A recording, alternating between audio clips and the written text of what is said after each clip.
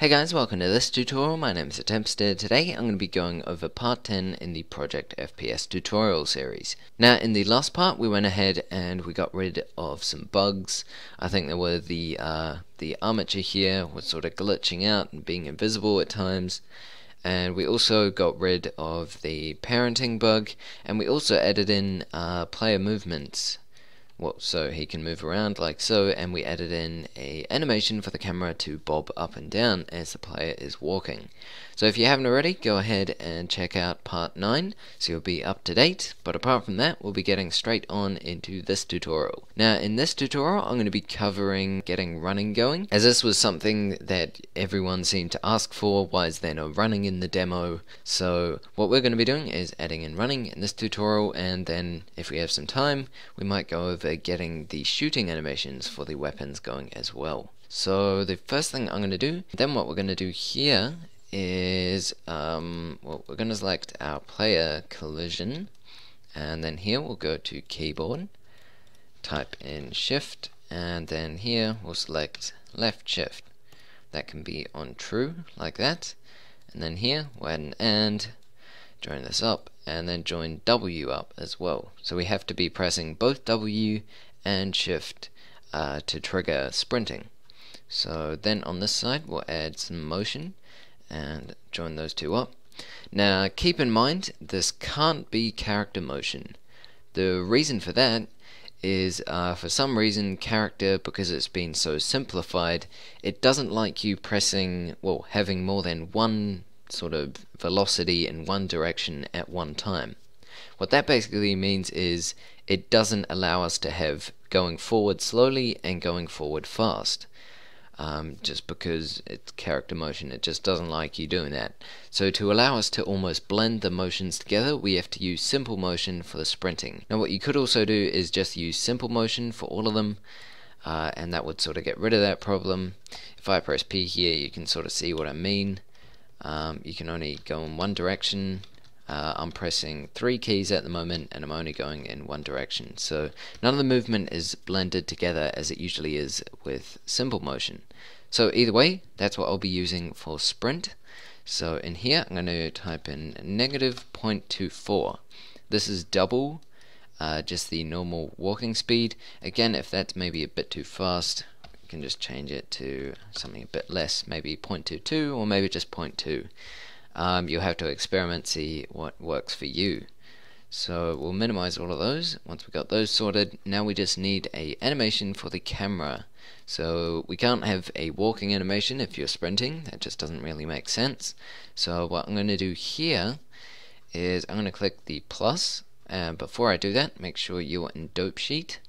Then we'll click the plus here, and we'll delete walk, and type in running. Oh running nm and then delete the dot 001 at the end. Alright and then click the plus here. I mean not the plus the F to save it twice. Then what we'll do is A to deselect A to select everything and in here we're going to have to shorten this animation so it plays faster. So I'm going to press SX and scale it on the X axis and um, I'm gonna just try 30 just for now. So SX and I think it's 0.75 hang on we'll try that. SX uh, yep there we go. Otherwise we can always make it smaller again if need be. So down here under the eyes I'm going to add another action. This one I'm going to call walking. And then I'll minimize that this one over here will also be loop end and we'll call this one running. So what we'll do also here is under the animation settings I'm going to type in running anim for running animation and this ends at frame 30 because we just scaled it down. Uh, I'll give it some blending and then also the next part here is important the priority uh, this basically means which animation will play if uh, both of them are meant to be playing at the same time so if you notice, here we have uh, our walking animation, but if the player is pressing W and the player is running, then both of the animations will be trying to play at the same time. So what we have to do to fix that is set the priority here to 2 and set this one to 1. So this one will go first, and then if the player is not running, then this one will play. Alright, so join this one up to the last AND controller, then minimize those, and over here we'll also uh, this property here to make sure control is equal to true, we'll join that up to the running as well. So now if we press 0 and uh, go into texture view and press P, let them reload and you can see walk, press shift and there we go back to normal. So shift makes the uh, camera bobbing faster. Uh, if that's not fast enough you can obviously scale down the animation but I think for me that should be good. Now you'll notice some sort of stuttering if you sort of tap shift all the time. So we're going to get rid of that with some animation blending. So to do that, we're going to go layer 1 for both of these, and then we'll give it however much we want. So how much of the previous layer to blend into this one? Let's just say 0.5 for now. So what that's going to do is it will smooth out uh, if you tap shift all the time. As you can see. Oh, I think from stopping and starting doesn't work so well. So what we might also do is turn off continue here on both of those. So we'll give that a try now. And tapping shift and that seems to look good. Alright, so I'm happy with that. So what I can do now is minimize both of those then what we're going to do is, now we have that sorted, I might start getting the shooting animations going for the weapons. So what I'm going to do is select the rig here, go to, before we go to pose mode, actually go to layer 2, then we'll need to select our gun, all the pieces, uh, this is going to be our primary weapon first, so then we'll press M and move it to layer 1. Go along to layer 1, and we're going to have to do the same thing we do every time. So select the rig and we're going to have to change this to M24 change. So it's just on the starting frame here. Then what we want to do is go into pose mode uh, press alt R to get rid of the rotation. Back to object mode. Then select the empty here or the gun spawn shift S cursor to selected. Then select the gun, shift S, selection to cursor, and then hold down shift, select the gun spawn and press control P and parent. So what we are going to do now is we'll set up the shooting animations for our gun here. So basically when the player is shooting, this is obviously going to be automatic fire for the primary weapon. So as you can see here, every 5 logic ticks uh, it will send out a pulse and the player will shoot. Now what we need to do whenever that sends out a pulse is play a shooting animation. So to do that I'm going to select my not my gun, I want to select my rig, press the plus to make a new animation. I'm going to call this M24 recoil. Then enter and select the F here to save it twice. Now we don't need frame 20 so go to frame 20, press T to open this toolbar go to animation and remove. Alright, so we only have frame 0 here. Now because this is set to 5, I'm going to have my shooting animation uh, be 5 frames long. What we might need to do though is cut it down to 4 because uh, frame 0 will be 1 frame. So there'll be 1, 2, 3, 4, and then 5 here. So we have four frames to play our shooting animation in. The reason we're making it so short is that when the player holds down the trigger, then we won't have any animation glitches where the animations are sort of piling on top of each other. So what I'm going to do on frame 4 is go over to pose mode, select record down here, go to location rotation, and then one thing we have to do, well almost remember is that on frame 4 this actually has to be the same as frame 0 as in it's restarting all the time. So I'm going to go to frame 0 press A to deselect A to select everything control K and then shift D G X and we're going to move it 4 there we go so to frame 4 alright so shouldn't look any different Now what we need to do is on frame 1 we need to have the recoil so the gun is moved back and then between frame 1 and frame 4 the player will be pushing the gun back to the original position. We're well obviously going to select both hand parts and the gun spawn. Make sure they're all moving, then we're going to press uh, numpad 0, see what we're doing, and press GX and move it along the X axis. I'm going to move it around, maybe something like that. You don't want too much because the animation is so short and happening so quickly, but you don't want too little again either. So I think something like that should be fine. Uh, if you want to preview what it's sort of like, you can change the end here to 4. And then if we press play, that's sort of what it's going to look like. So if you're happy with that or you want to add some other movement, feel free to do so. Again, frame 1 is the original recoil, so maybe what I might do is move it up a bit as well on frame 1.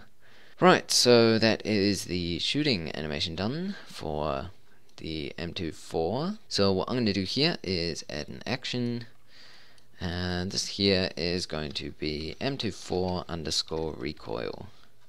Enter and then in here we'll type in M24 and choose recoil. Now there's a start of 0 end frame 4 and we'll give it some blending. What I might do is add a AND controller here join this one up here and join this up here. Alright so uh, I'm going to set that to 1 as well and minimize all of those. Then also one more thing we're going to do is we will animate this clip here. Uh, so this one right here, if we can select it, we also want that to be going uh, backwards and forwards while the player is shooting. So what I might do is uh, on frame 0, press I to insert location rotation, and then we'll go along to well, frame 1, and then press G, X, and X again. Nope. G, Y, and Y again. So double tap Y, and then we're going to move it down all the way back here. Then, uh, yeah, that's fine. Now we just need to duplicate frame 1 or frame 0 and push that up to frame 4. So A to deselect, Control K, and then Shift D, GX4. Alright, so now that should move back and forwards as well. Okay, so that is sorted. Now what we're going to do is, instead of clip action, we're going to call this one, uh, well, recoil. So M24 clip recoil. Then we'll select the F here. And then what we'll do is, on the clip, add an action, M24 clip recoil. There we go.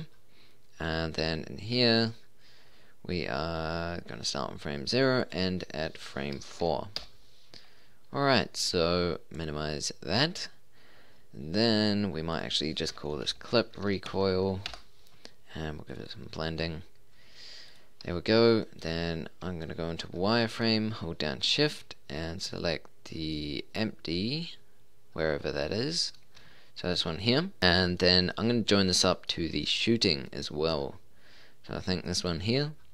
Turn that up there. And now what we'll do is that should be finished. So we can select this gun, press Alt P, and clear parents. Then we'll move that over here. No, we won't. Turn off record. Then move it.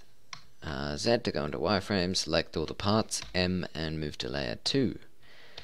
Go ahead to layer 2, and we'll select the pistol and all of those parts. Then M, move to layer 1, and then what I'm going to do is uh, same thing as last time. So select the rig instead of M24 we want to have uh, Glock change. Then we'll click the plus and we'll rename this to Glock recoil. Recoil.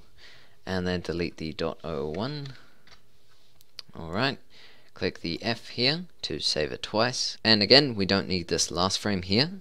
So we can go ahead to frame 20 go to uh, well select everything go to keyframes under tools and then remove keyframe. Then what we're going to do is go back to frame 0 And then here, we're going to, uh, first of all, select the gun bone here, then press Alt R, get rid of the rotation, back to object mode, select the main body of the gun, hold down, oh no, select the gun spawn, shift S cursor to selected, then select the main body of the gun, shift S, selection to cursor, hold down shift and parent it to the gun spawn.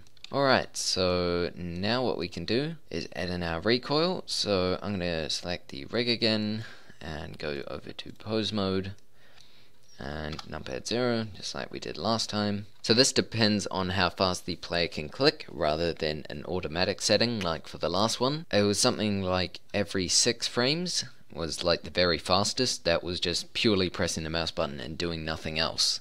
So I'm going to give it 6 frames, which is up to frame 5, for uh, this animation, just purely because it's not being sort of automatically done all the time. Then what I'm going to do is frame 0, as you can see here, that means we have until frame 5 to do the recoil animation. So go to frame 0, A to deselect, Control K, select all of these, Shift D, G, X, and then 5. So including frame 0, that is 6 frames obviously. So then again we'll go to frame 1. So I'm going to select the gun bone as we have here, hold down shift, select both of the arms so it moves. Then I'm going to press RY to rotate it up, bring it towards the player a little bit. And uh, yeah, as you can see, just sort of move it up like that. So I'm happy with that. Uh, I didn't have record on. I think we'll just leave it off and press I.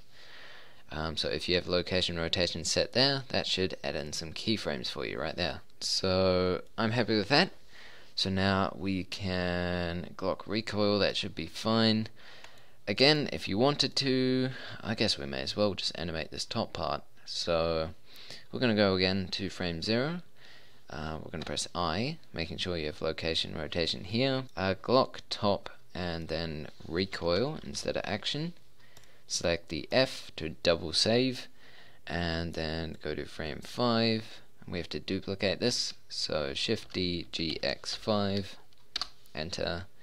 Go to frame 1 so somewhere around here and then G and double tap Y nope.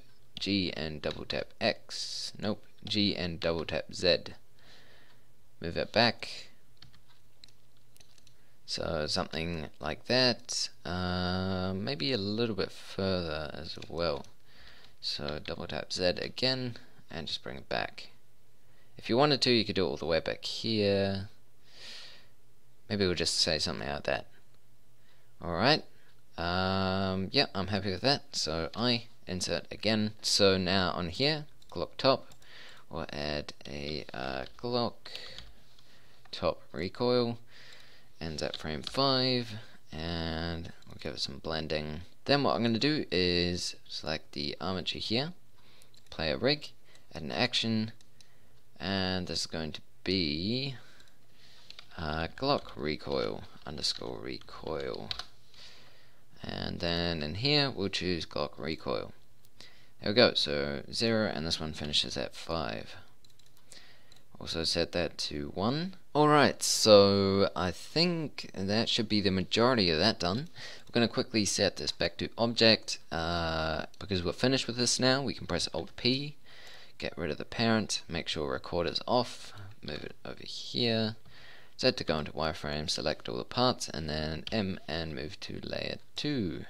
Now also for the recoil animations down here, I'm going to turn off continue uh, for both of those and then also over on layer 2 we might do it for these extra parts as well.